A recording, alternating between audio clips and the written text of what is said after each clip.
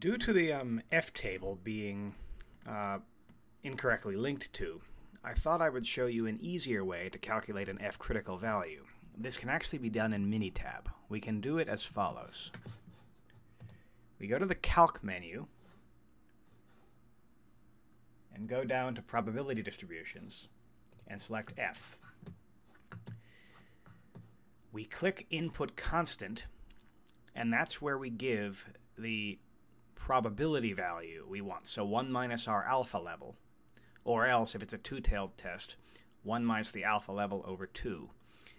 In this case, I'm going to select a one-tailed test with a 5% alpha level, and we'll assume uh, we have 7 degrees of freedom in the numerator and 13 in the denominator. And then we click OK. As you can see, this gives you your critical value. This is often much quicker than using the table. We can do something similar for the t. Again, probability distributions, t.